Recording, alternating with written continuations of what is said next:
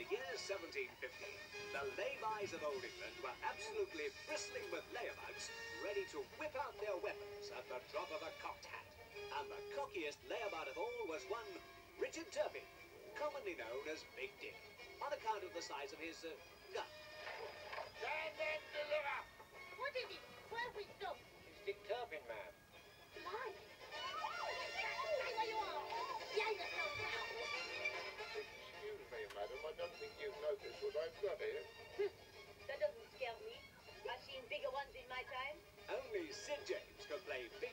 Such a plunge. And he's the Reverend Flasher, too, on the choir.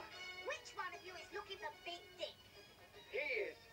Barbara Windsor fills two roles very nicely. Oh, Kenneth Williams is a rather thick dick. You might just as well come quietly. I am Captain Fancey of the Bow Street Runner, and Aunt Titania, Queen of all the fairies. And Hattie Jacques pulls out all the stops.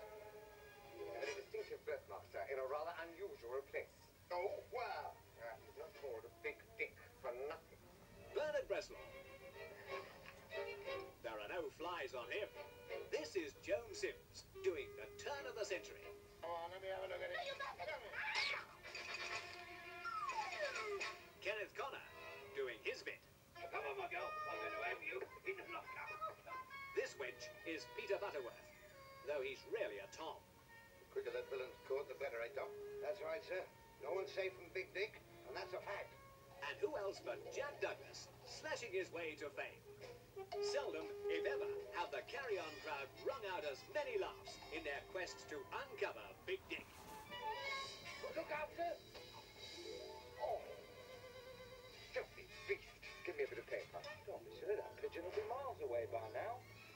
back to the good old days with Peter Rogers, Gerald Thomas and the Carry-On Gang.